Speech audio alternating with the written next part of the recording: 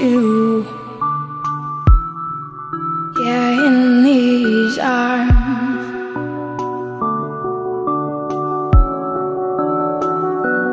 And I'll soothe you.